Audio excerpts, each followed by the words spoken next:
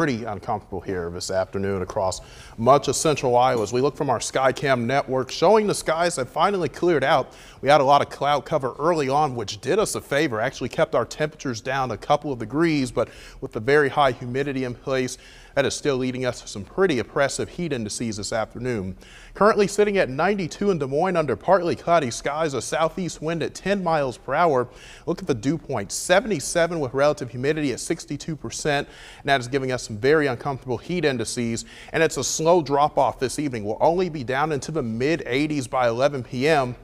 And you can see those heat indices are still be in the 90s after the sun goes down. So that's why this is a big problem right now.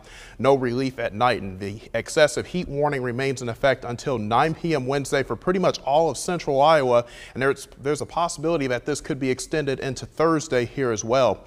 The large pattern right now shows this impressive heat dome here, this area of high pressure that's still centered over central Iowa. This thing is peaked at intensity today with heat warnings extending from central Texas all the way into the Ohio River Valley and up into parts of Minnesota. So we anticipate this high to remain pretty much in place for the next 24 to 48 hours before we start to see it shift off to the southwest.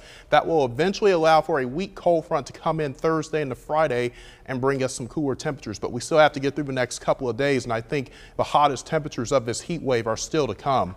Overnight lows will be in the mid to upper 70s, warmer than where we were this morning, and then tomorrow afternoon, many of us in the upper 90s. Some of us may touch 100. We're going to be pretty close to a record high here in Des Moines.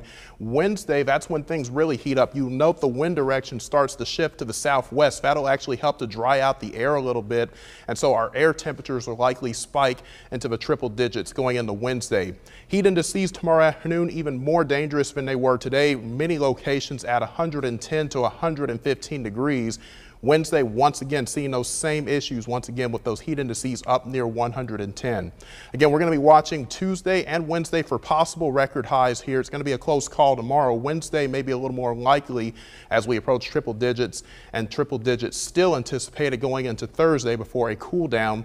And then again, record warm lows are also a big factor here uh, with this upcoming heat wave as temperatures will struggle to fall into the mid to upper 70s and low 80s at night. Now here comes the cold front coming in Thursday night and a Friday with a chance of thunderstorms. Eventually that will bring back some cooler weather, highs more seasonable going into this upcoming weekend with highs in the 80s and overnight lows in the 60s.